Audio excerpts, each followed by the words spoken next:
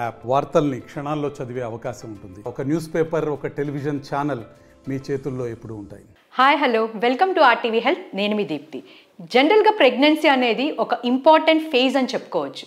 కానీ కొంతమందిలో ఈ వామిటింగ్స్ అనేవి చాలా ఎక్కువగా ఉంటాయి. దీన్నే హైపర్ ఎమిసిస్ అంటారు. అసలు ఈ హైపర్ ఎమిసిస్ అంటే ఏమిటి? దీనికి ట్రీట్మెంట్ ఎలా ఉంటుందో ఈరోజు ఎపిసోడ్లో మనం తెలుసుకుందాం. ఈ విషయాలని తెలియజేయడం కోసం మనతో పాటు ఉన్నారు doctor Nandini consultant gynaecologist Apollo cradle and children's hospital. Hello doctor. Hello, and how are you today good. How are you? I'm fine doctor జనరల్గా ప్రెగ్నెన్సీలో జనరల్ అందరికీ నార్మల్గా వామిటింగ్స్ అవుతాయి. కానీ కొంతమందికి విపరీతంగా వామిటింగ్స్ అవుతూ ఉంటాయి. దీన్ని హైపర్ ఎమిసిస్ అని కూడా అంటూ ఉంటారని విన్నాం. సో అసలు ఈ హైపర్ ఎమిసిస్ అంటే ఏంటి? నార్మల్గా ప్రెగ్నెన్సీలో మొదటి మొదటి మూడు నెలల్లో వామిటింగ్స్ నాజియా ఇవన్నీ చాలా కామన్గా ఉంటాయి. ఇవన్నీ ప్రెగ్నెన్సీ హార్మోన్స్ ద్వారా వస్తూ ఉంటాయి. కానీ ప్రెగ్నెన్సీ నార్మల్గా ప్రెగ్నెన్సీ రావడం అనేది it's a very good and good news for all the family. It's a very good experience. But that experience is hindered by this vomiting and nausea in pregnancy. ఎలా కొంతమందిలో కొంచెం కొంచెంగా వామిటింగ్స్ అవ్వడం అనేది సర్వసాధారణం. కానీ వామిటింగ్స్ చాలా ఎక్కువగా అవ్వడం ఏది తిన్నా వామిట్ చేసేసుకోవడం వాటర్ కూడా తాగలేని పరిస్థితి ఇట్లాంటివి ఉన్న వాళ్ళని హైపరెమ్సిస్ అని అంటారనమాట కొంతమందిలో మొదటి మూడు నెలల్లో ఉండి తగ్గిపోతుంది. కానీ అది కొంతమందిలో ఐదు నెలలు ఆరు నెలలు డెలివరీ వరకు కూడా కొంతమంది పేషెంట్స్ చూస్తూ ఉంటాం. వాళ్ళకి కంటిన్యూస్గా వామిటింగ్స్ అవుతూ ఉంటాయి. ఇలాంటి వాళ్ళని హైపరెమ్సిస్ అని చెప్తామన్నమాట. హైపరెమ్సిస్ అనగానే it is like more vomitings అంటే హైపర్ ఇస్ మోర్ అండ్ ఎక్కువ వామిటింగ్స్ అవుతూ ఉన్న వాళ్ళని ఎక్కువ ఫ్రీక్వెన్సీలో వాళ్ళకి హైపరెమ్సిస్ అని చెప్తామన్నమాట. డాక్టర్ జనరల్గా ఈ వామిటింగ్స్ ఎక్కువ అవడం వల్ల కొంతమంది హాస్పిటలైజ్ అవుతారని విన్నాం. సో అది ఎంతవరకు కరెక్ట్ అంటారు? నార్మల్గా వచ్చే వామిటింగ్స్ అవన్నీ ఏదైనా ఇంట్లో ఉన్న చిన్న చిన్న చిట్కాలు పాటించడం ద్వారా అవన్నీ ద్వారా you can treat yourself కానీ ఏమవుతుంది అంటే అందరూ చాలామంది స్త్రీలు నార్మల్గానే వామిటింగ్స్ అవుతాయి. Vomiting is a sim symptom and ప్రెగ్నెన్సీకి అది ఒక సైన్ అని చెప్పేసి వాళ్ళు అది నార్మల్గా తీసేసుకుంటారు. They don't come to hospital ఎప్పుడైతే రావాలో హాస్పిటల్కి వెంటనే రారు.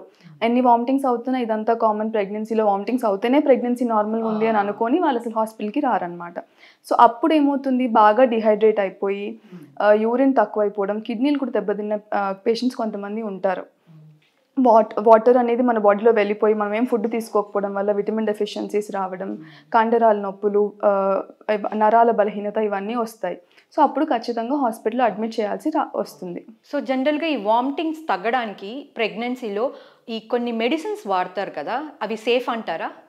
ప్రెగ్నెన్సీలో ఇంతకుముందు వామిటింగ్స్కి థాలిడోమైడ్ అనే ఒక టాబ్లెట్ ఇచ్చేవాళ్ళు. But that is not safe for pregnancy okay అవయవాలు ఎలా ఫామ్ అవుతున్నాయో దాన్ని ఇబ్బంది పెట్టే అవకాశం ఉంటుంది. కానీ ఇప్పుడు we have so many safe drugs కామన్గా ఇచ్చే వామిటింగ్ మెడికేషన్స్ ఏవి ఇప్పుడు ప్రెగ్నెంట్ బేబీని ఎఫెక్ట్ చేసే మెడికేషన్స్ ఏవి లేవు. We give you safe medication when and required it can be taken so ఈ కండిషన్ అందరికీ ఇలానే ఉంటుందా డాక్టర్ లేకపోతే ఏమన్నా డిఫరెన్స్ ఉంటుందంటారా? అందరికీ ప్రెగ్నెన్సీలో ఇంత వామిటింగ్స్ అనేది ఉండదు. కానీ ఒకసారి ప్రెగ్నెంట్ అయిన ప్రతి ఉమెన్లో ఎయిటీ పర్సెంట్ ఉమెన్లో వామిటింగ్ నాజియా అనేది కామన్గా ఉంటుంది. ఒక రోజు ఒక ఒకసారి రెండు సార్లు రోజు కావడం అనేది చాలా కామన్ మొదటి మూడు నెలల్లో. కానీ మూడు శాతం మందిలో మాత్రమే చాలా ఎక్కువగా వామిటింగ్స్ అయ్యి హైపరెమ్సిస్ లాగా మనం అనుకునేలాగా వస్తుందన్నమాట. మూడు శాతం మందిలో కంటిన్యూస్గా వామిటింగ్స్ అవ్వడం ఏది వాటర్ తీసుకున్నా కూడా వాటర్ కూడా తీసుకోలేకపోవడం కళ్ళు తిరగడం డిహైడ్రేట్ అయిపోవడం ఇవన్నీ చాలా కామన్గా వస్తాయి. ఇవి ఎక్కువగా ఎలా ఎలాంటి వాళ్ళలో ఉంటాయి అంటే కవలలు ఉన్న వాళ్ళకి కవల ట్విన్ ప్రెగ్నెన్సీస్ కవలలు ఉన్న వాళ్ళకి ముత్యాల గర్భం అని ఒకటి ఉంటుంది. సో ముత్యాల గర్భం అంటే ప్రెగ్నెన్సీ ఫామ్ అవుతుంది కానీ బేబీ ఫామ్ అవ్వదు. ఓన్లీ లోపల సెల్స్ చిన్న చిన్న గ్రేప్స్ లాంటి సిస్ట్ లాంటివి ఫామ్ అవుతూ ఉంటాయి. బట్ ప్రెగ్నెన్సీ హార్మోన్ అందులో ఎక్కువగా ఉంటుంది. సో వాళ్ళలో కూడా ఎక్కువగా వామిటింగ్స్ అనేది ఎక్కువ అవుతూ ఉంటాయి. అది కాకుండా ఐవీఎఫ్ ద్వారా ప్రెగ్నెన్సీస్ వచ్చిన వాళ్ళకి ప్రెగ్నెన్సీ రిలేటెడ్ కాకుండా కూడా లివర్ ప్రాబ్లమ్స్ కానీ థైరాయిడ్ ప్రాబ్లమ్స్ కానీ ఉన్న వాళ్ళలో బాగా ఎక్కువగా ఉంటుంది అనమాట హైపరెమిసిస్ అనేది. ఇలాంటి వాటికి ఏదైతే కాజో దాన్ని ట్రీట్ చేయొచ్చు. కానీ ఐవీఎఫ్ కానీ ట్విన్స్ వాళ్ళలో ఏమవుతుంది? ఒక్క ప్రెగ్నెన్సీ ఉంటేనే ఉండే హార్మోన్ కంటే ట్విన్ టూ బేబీస్ పెరుగుతున్నప్పుడు హార్మోన్స్ ఎక్కువ ఉంటాయి కాబట్టి ఇంకా ఎక్కువగా అవుతూ హార్మోన్ ప్రొడ్యూస్ అవ్వడం వల్ల ఇంకా ఎక్కువ వామిటింగ్స్ ఉంటాయన్నమాట. డాక్టర్ జనరల్గా ప్రెగ్నెన్సీలో ఈ వామిటింగ్స్ అవ్వడం నార్మల్ అని అంటూ ఉంటారు. కానీ ఏది నార్మల్ అండ్ ఏది అబ్నార్మల్? ఇప్పుడు ఒక డేలో two times three times vomitings అవ్వడం కొంచెం మనం కొన్ని ఇంట్లో చిట్కాలు పాటించడం ద్వారా వాళ్ళు బాగానే ఉన్నారు. డిహైడ్రేట్ అవ్వట్లేదు. They are able to take some food అంటే కొంచెం కొంచెంగా ఫుడ్ తీసుకోగలుగుతున్నారు. ఇవన్నీ ఉంటే పర్వాలేదు. అది కాకుండా వాటర్ తీసుకోలేకపోవడం అండ్ ఏ అట్లీస్ట్ ఏం ఫుడ్ తిన్నా ఏమైనా వెంటనే వామిటింగ్ అయిపోవడం. కొంచెం వాసన నార్మల్గా ఎలా ఉంటుంది? కొంతమందిలో ఎర్లీ ప్రెగ్నెన్సీలో మనం కుక్ చేస్తున్నప్పుడు ఆ స్మెల్స్ పడకపోవడం కొంచెం డీప్ ఫ్రై చేస్తూ ఉంటే ఆ స్మెల్ మనకు పడకుండా వామిటింగ్స్ అవడం ఇదంతా చాలా సర్వసాధారణం. అది కాకుండా అసలు ఏమీ చేయకుండానే అసలు you are not able to drink even water అస్సలు అలాంటి సిచ్యువేషన్ని మాత్రం ఖచ్చితంగా హైపరెమ్సిస్ అని అనుకుంటాం. అది అసాధారణం. అలాంటి సిచ్యువేషన్లో ఏమవుతుంది? బాడీ కంప్లీట్గా డిహైడ్రేట్ అయిపోతుంది. You are not eating food అందుకని విటమిన్స్ అంతా తగ్గిపోతూ ఉంటుంది. అండ్ అసలు ఎలా బీపీ తగ్గిపోవడం అండ్ అసలు ఏమి పనులు చేసుకోలేకపోవడం అసలు లేచి కూర్చోవడం కూడా కష్టంగా ఉండి కళ్ళు తిరిగి పడిపోవడం యూరిన్ అనేది తగ్గిపోవడం ఇవన్నీ జరుగుతూ ఉంటాయి. డాక్టర్ మరి అసలు ఈ సమస్యకు పరిష్కారం ఏంటంటారు? నార్మల్గా ఇంట్లో కొన్ని చిట్కాలు పాటించవచ్చు. ఎలాంటివంటే నిమ్మరసం స్మెల్ చూడడం కానీ అల్లం ఉంటుంది కదా దాని స్మెల్ చూడడం అల్లం రసం కొంచెం తీసుకోవడం వల్ల ఈ నాజియా వామిటింగ్ అనేది కొంచెం తగ్గుతూ ఉంటుంది. అది పుదీనా రసం ఇలాంటివి ఏదో బయట చేసిన ఫుడ్ అనేది మానేయడం లాంటివన్నీ కొంచెం ప్యాకేజ్డ్ ఫుడ్స్ ఇలాంటివన్నీ మానేస్తే that will help them to have a better pregnancy. అది కాకుండా ఇఫ్ బాగా ఇబ్బందిగా ఉంది. వామిటింగ్స్ చాలా అవుతున్నాయి. They are not able to drink అవన్నీ. అప్పుడు మాత్రం ఖచ్చితంగా హాస్పిటల్లో అడ్మిట్ అయ్యి ఐవి ఫ్లూయిడ్స్ పెట్టుకోవడం ఇంజెక్షన్స్ తీసుకోవడం అవసరపడవచ్చు జనరల్గా మన ప్రెగ్నెన్సీలో కొన్ని ఫుడ్ క్రేవింగ్స్ ఉంటాయి. అలానే ఈ వామిటింగ్ సెన్సేషన్ ద్వారా అండ్ కొన్ని ఫుడ్స్ చూస్తే మనకి తినాలనిపించదు. అసలు ఎలాంటి ఫుడ్ తీసుకోవాలంటారు? నార్మల్గా ప్రెగ్నెన్సీలో ఎప్పుడైనా folic acid rich nutritious food అనేది ప్రెగ్నెన్సీలో తీసుకోవాలి. క్రేవింగ్స్ అనేవి అందరికీ ఉండాల్సిన అవసరం లేదు.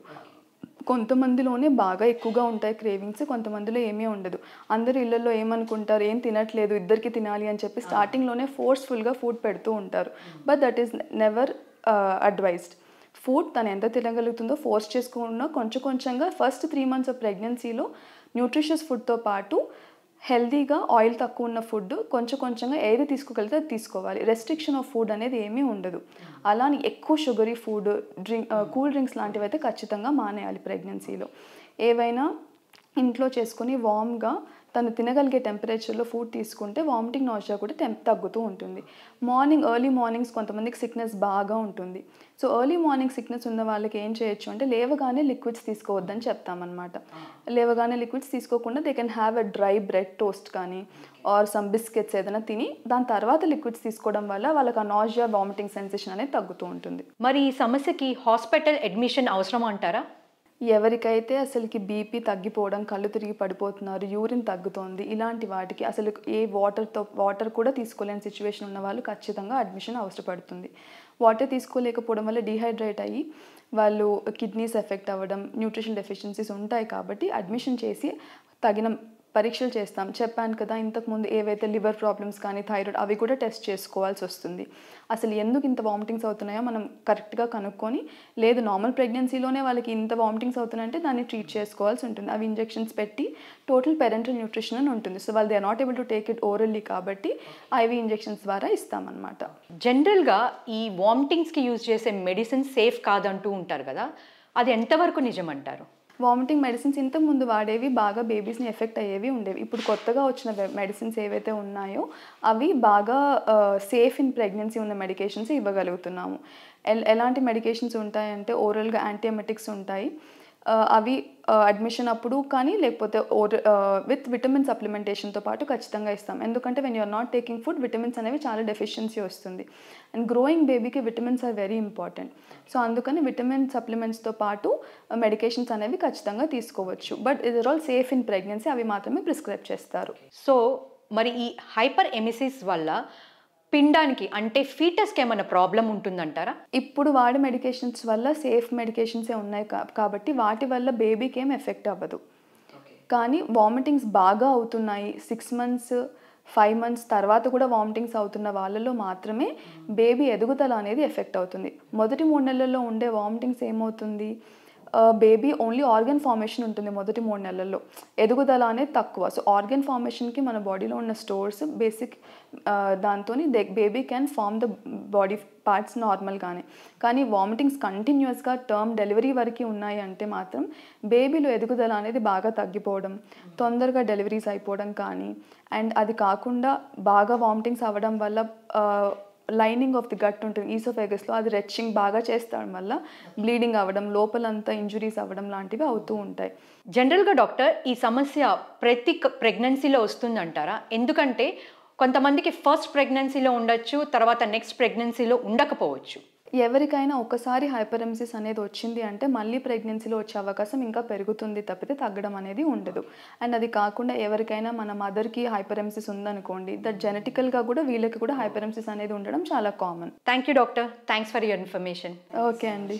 సో చూసారు కదండి ఇది ఇవాళ మన ఇంటర్వ్యూ. తిరిగి మళ్ళీ రేపు కలుద్దాం. అంతవరకు కీప్ వాచింగ్ ఆర్ టీవీ మరిన్ని వీడియోస్ కోసం ఛానల్ సబ్స్క్రైబ్ చేయండి. లేటెస్ట్ అప్డేట్స్ కోసం వాట్సాప్ ఛానల్ ఫాలో చేయండి. అండ్ లింక్ డిస్క్రిప్షన్లో ఉంది.